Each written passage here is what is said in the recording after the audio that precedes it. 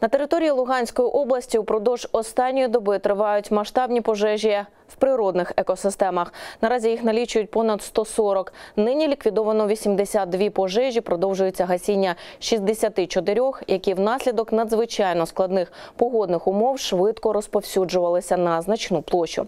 Саме тому на територію Луганської області був відправлений зведений загін надзвичайників Полтавщини. Вчора ввечері, 30 вересня, наш зведений загін відправився на допомогу луганським колегам на ліквідацію пожежі, яка виникла в них в екосистемах. Загалом було направлено 10 автомобілів і 51 чоловік особового складу.